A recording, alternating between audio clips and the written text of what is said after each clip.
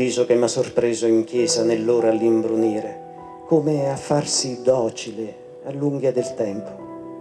La forza è nel pensarti vivo mentre si fa miracolo l'odore d'incenso, che va leggero come uno scialle e apre il cuore in largo singhiozzo.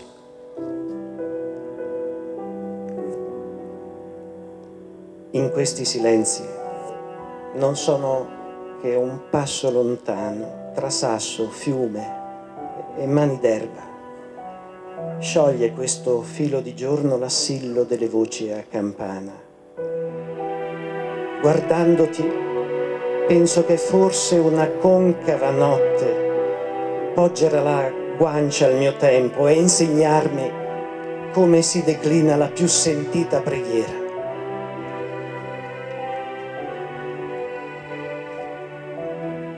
Amiche ed amici di Rete 8, buonasera da Lorenzo Valeriani e bentornati al Festival Abruzzo dal vivo Rete 8 Tour Village. Siamo nel piazzale San Gabriele di Isola del Gran Sasso a pochi metri dal famosissimo santuario proprio intitolato al Santo dei Giovani per raccontarvi le emozioni di questa serata. Ci sarà un concerto ampiamente dedicato ad Ennio Morricone, maestro scomparso il 6 luglio scorso e in anteprima un video promozionale a livello turistico eh, ideato ideato da Sandro Galantini che ci racconterà un po' la storia di questo territorio con l'invito per i tantissimi turisti e i tantissimi fedeli a visitare questa zona che è davvero eh, meravigliosa. Andiamo a scoprire innanzitutto i protagonisti con la nostra Maria Carannante e poi seguiremo con voi l'intero concerto. A dopo. E sognò la libertà. E sognò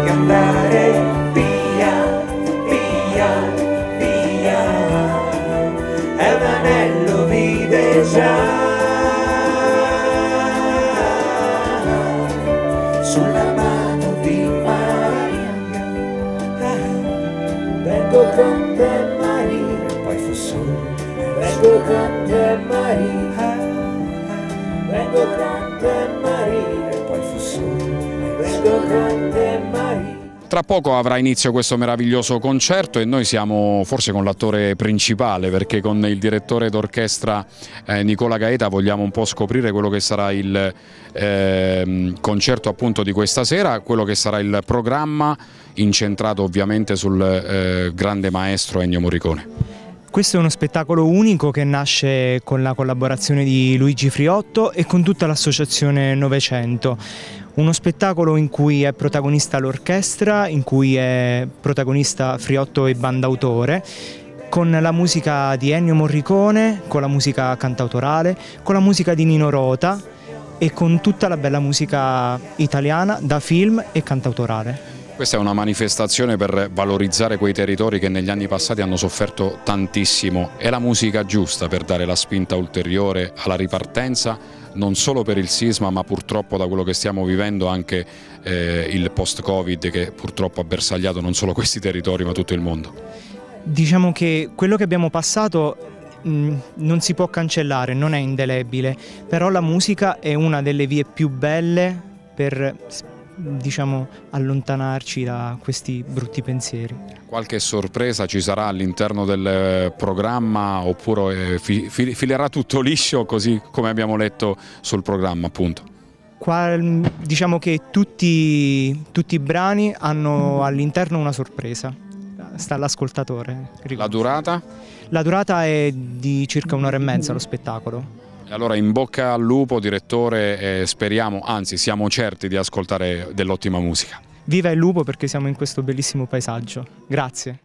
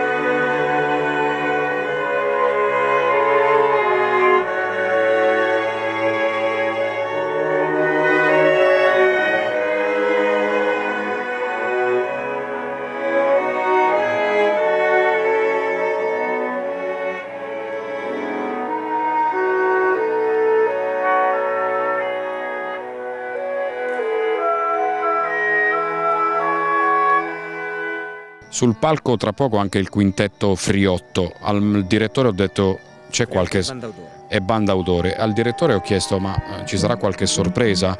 Dalla tua faccia qualcosina però ce la nascondete. Mm, nessuna sorpresa in particolare, noi siamo un quintetto, anzi un sestetto di cui fa parte anche il maestro Gaeta che questa sera sveste i panni del flautista e veste i panni del direttore d'orchestra. Noi siamo una formazione che va in giro da un bel po' di anni e mm, qualcuno ci ha già visti anche in particolari concerti sull'acqua, zattere galleggianti lungo la costa dei Trabocchi e non solo.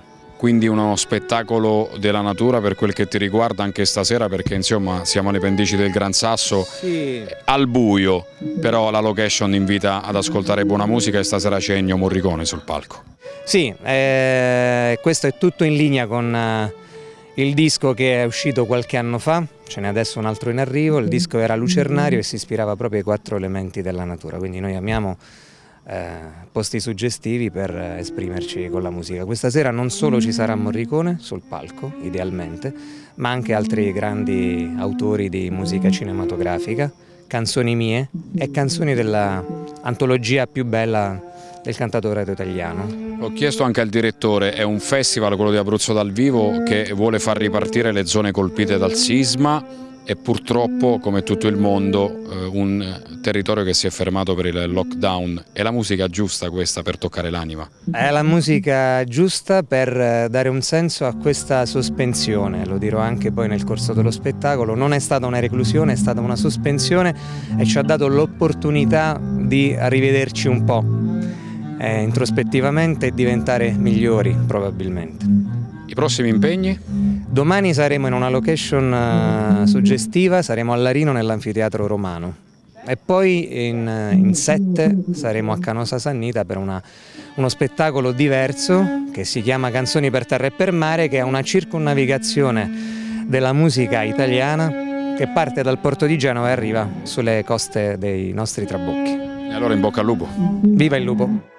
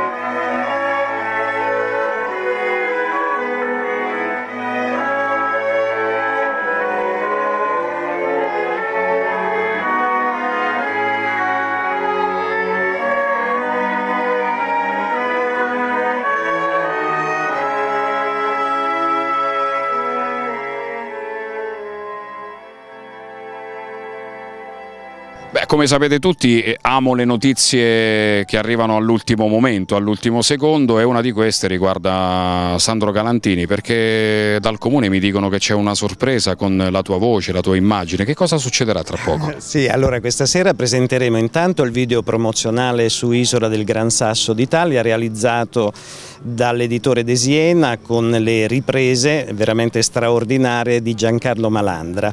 Poi presenteremo uno speciale giornalistico di 16 pagine uscito su Tesori d'Abruzzo, tutto dedicato a Isola del Gran Sasso a mia firma e poi la chicca invece è rappresentata da questo percorso emozionale, cioè una miscela di immagini, musica e testi, testi miei, dedicati esclusivamente a Isola del Gran Sasso, una sorta di tour attraverso il cuore e l'anima, non descrittivo ma appunto molto emozionale. Il tutto in questo ambiente dove verrà ricordato il maestro Morricone con delle musiche straordinarie e soprattutto in Abruzzo dal vivo, cioè territori che vogliono ripartire. Isola del Gran Sasso ha bisogno anch'esso di ripartire dopo il sisma ma anche dopo questo periodo di lockdown che ha un po' bloccato non solo l'economia dei paesi ma anche la cultura, le tradizioni e le usanze. Sì, tutto assolutamente vero, un grande poeta bolognese ma molto legato all'Abruzzo che era Roberto Roversi, eh, scrisse una poesia toccante che diceva Abruzzo mh,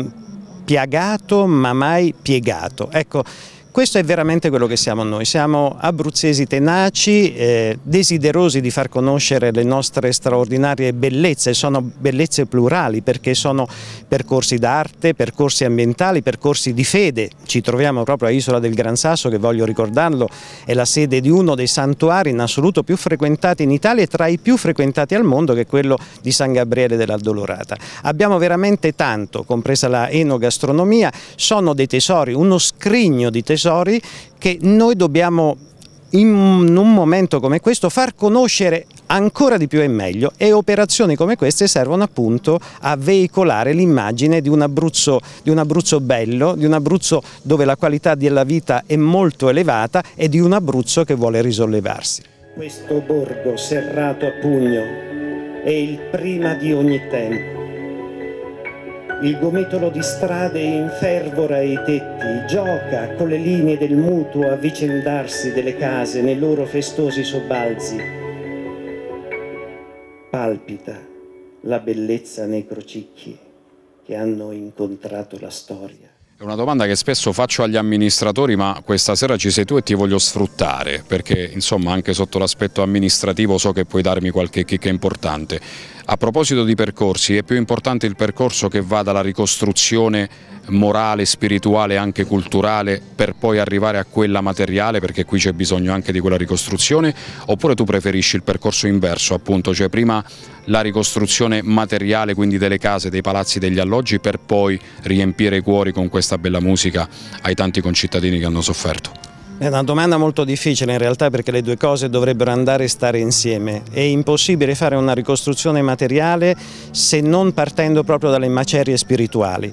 Eh, tutto quello che noi abbiamo subito, cioè il terremoto, la neve e adesso anche questa pandemia, ha sicuramente creato un contraccolpo psicologico molto forte. Quindi c'è bisogno, bisogno davvero di ricostruire la nostra forza psicologica e d'altro canto però la forza psicologica può avere un suo nutrimento riferimento anche dalla ricostruzione dei luoghi fisici, cioè quelli nei quali sono depositate le nostre storie, nei quali c'è il nostro vissuto e nei quali c'è anche la nostra identità. Quindi io spero sempre che piuttosto che un out out sia un et et, cioè invece di essere o o sia invece un e e, cioè sia la ricostruzione materiale e di pari passo sia la ricostruzione psicologica e spirituale te la volevo fare a microfoni e telecamere spente ma te la faccio adesso con tutto l'impianto attivato, diciamo così. C'è un sogno nel cassetto di Sandro Galantini che ancora deve essere tirato fuori oppure hai raggiunto tutti gli obiettivi che avevi immaginato da qui a 40 anni addietro? Dimmi tu poi se sono di più. La vita di ogni persona è una vita spesso lastricata di grandi dolori e però ci sono anche dei voli. Molti dei miei voli sono stati dei voli pindarici, mi sono avvicinato probabilmente troppo al sole, le mie ali si sono sciolte e sono caduto miseriamente. Ecco, forse il desiderio è mh, avere quella saggezza che ti permette di fare un passo per volta e farlo in sicurezza. Ci sono ancora delle cose che intendo fare, a Dio piacendo naturalmente spero di poterle fare e comunque anche quello che ho fatto credo che sia per me già soddisfacente e quindi sono una persona tutto sommato felice ed equilibrata.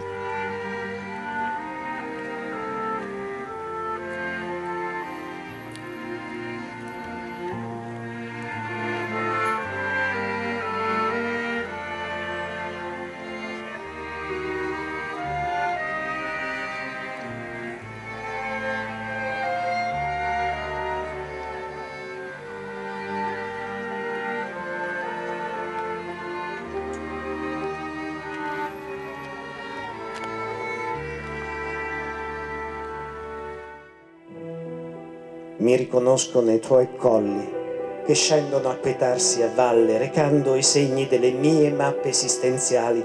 Mi riconosco nelle guglie dei tuoi monti, che sono per me torri della memoria. E quando l'alba scopre con la brina il tuo cielo, il senso delle cose non si occulta, non mi si nega. Penso allora, isola del Gran Sasso, che l'universo sia in queste mie parole che ti cercano, nella magica levigatezza del tuo sguardo e nella tenera fuga tra le tue braccia. Tu, isola, sei il ricordo della storia che riempie di ogni stupore la pietra, sei la brezza del giro lento che inonda il castagno, la quercia e la campagna aperta al giorno, sei un sorriso che dona trasparenza all'anima, sei un gomitolo di strade docili all'orma del passante. Tu, tu sei isola del Gran Sasso d'Italia, un respiro d'amore in largo orizzonte.